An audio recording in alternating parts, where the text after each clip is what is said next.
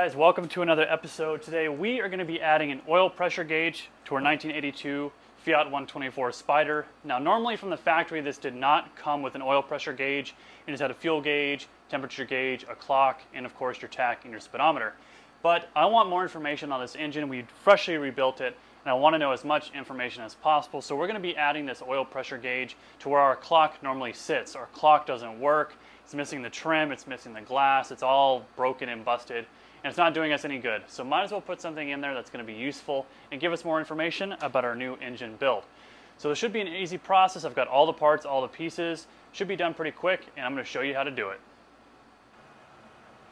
So these are the pieces we're going to need. We've got a new part here for our warning light the adapter that actually plugs here where the oil pressure reader is. It's got the little plug on top as well. All brand new sealed parts, new pieces, nice new copper washers, all this good stuff. And we're gonna go right into the car. It's gonna come right over here. And we're gonna start working in a dark spot. So I'm gonna light you guys up as best as possible. Get our light down in here. We might have to remove our alternator to make our job a lot easier only one nut here and remove the electrical. I'm going to unplug the battery as well. But we're looking right down there. That's where our, dummy, our dummy light is. It's just a uh, bolt in there that's got the sensor in it. And we can back that out and add all those pieces on, reattach our wire, and uh, we'll be able to run those new wires in sync with those back through the firewall back into the car. So we're going to jump in here. I'm going to disconnect the alternator, disconnect the battery, and take those wires off the back with this boot covering that. Uh, we don't shock ourselves, and we'll be able to start unscrewing that and putting our new pieces all back on. So what we're going to do first before we get into the car, I'm going to show you how to assemble this. That way, um, when I'm down in the car, you're not kind of struggling to see how it all gets assembled. It's going to be a lot easier on the bench. So the first thing we're going to do is unscrew this bolt here. Take off these copper washers. You can see it's like a banjo bolt in a sort of way. So what we're going to do is we're going to put one of these washers on first.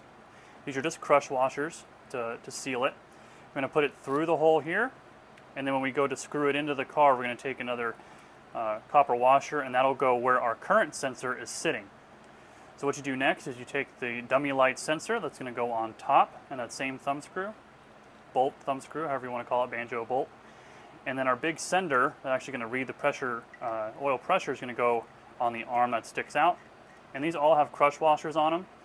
They're just not copper and you, we're going to tighten those down. But this is the basic assembly of how that's going to go on the car. Uh, when we remove that dummy light sender, because all that's in there right now is just this part here. We, we're adding all of this, and we're going to be running an extra wire from the top of the pressure here to the back of our gauge, um, just up through the firewall and back to the dash. So when I'm down there, this is all I'm going to be doing is I'm going to tighten these down and get this tight first, then this on top. That way this is all sturdy and then we're going to tighten down the sender on top of that and then we'll be able to move to the dash and pull the dash off and start running some wires.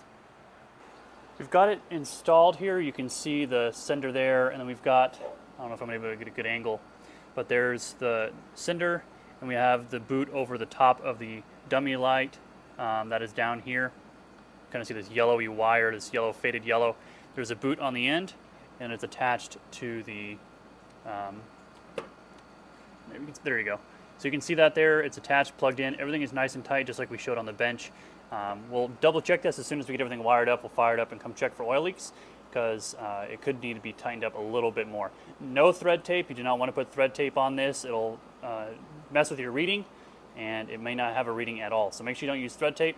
So we've already got the dummy light plugged in. Our next thing is be plugging in a wire for the sender. Now we do not have one already installed on the car.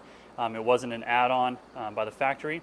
So what we're going to do is run our own wire right up through the loom here, up across with the rest of these wires, back and through the firewall right there behind the engine.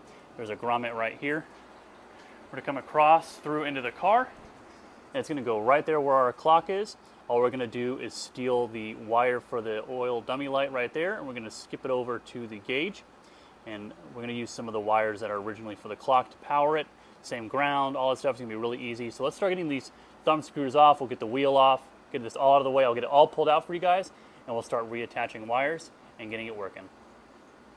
We've got the gauge in the dash. We cleaned up the glass. We took the, the bezel off, cleaned it and put it back in just like we did the rest of the gauges. If you want to know how to do that, I'll put a link up at the top for the video for how we did that and how, and how we got these all clean. But what I've got right now is a bunch of jumpers and it looks like a bit of a mess.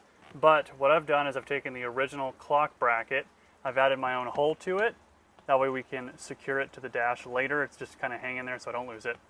But all we're doing is matching color-coded wires and using the original um, colored wires that go to just the dummy light.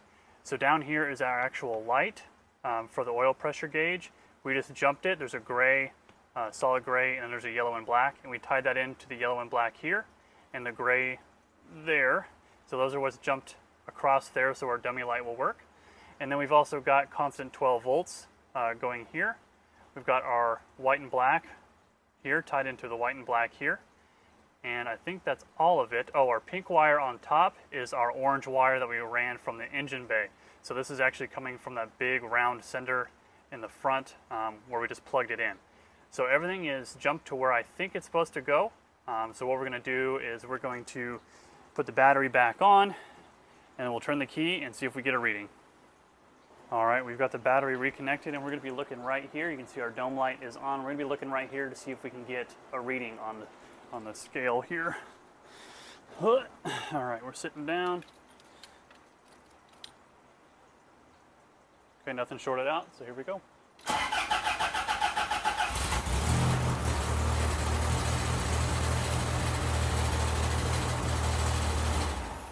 Something is rattling really bad up there. But the good news is we did get a reading, and it was just between 0 and 4 bars, which is about uh, 15 to 20 psi. Um, I think four bars is about 30 psi. So right in the middle there, 15, 17. Um, running and idle is great. Um, a good rule of thumb is 10 psi for every 1,000 RPMs. So if we're idling at 1,000 RPMs and we have 17, that means we're well above um, what we need. So the good news is that works. We have it wired correctly. So we can start uh, solidifying these connections, putting connectors on, and actually putting them together um, and insulate them, solder them, you know, the super fun stuff. So we're gonna start connecting all these, get this nice tightened up, put the dash back in, see what the heck is rattling up there. Something's probably just loose. Uh, tighten that down so we don't have a rattle anymore. And then uh, we'll start revving it up and see what kind of PSI we're getting as we rev up the engine. So um, I'll bring you guys back when we get that all back together. All right, so we've got our dash reassembled, the steering wheel back on, and all those wires tucked nice and neat behind the dash. Just a little bit of cleanup, not a big deal. But we're gonna attach our battery. We're gonna give it a good fire up and start revving it up and seeing what kind of action we're gonna get. All right, we know our power is on, we got our dome light. All right, good, so our oil light does come on.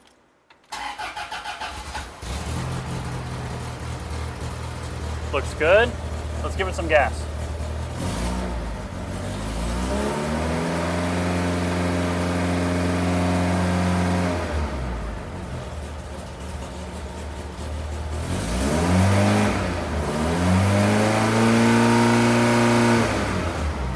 Yeah, we've got some really good oil pressure. Let's check for leaks.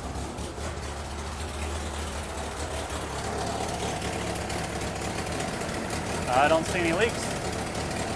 Very, very good.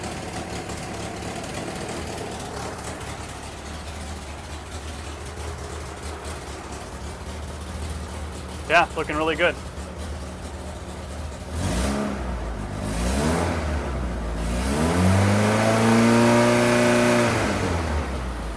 Man, so much better. Well guys, that's just how easy it is to put an oil pressure gauge instead of this junky old clock. Sure, I could rebuild it and get the glass and the bezel and get it working because I could hear it tick when you know it's in the car, when it's got the power, you could hear it rolling around in there, but this just didn't provide anything for us. And now we have a really good gauge on how to measure the health of our engine, especially after a rebuild.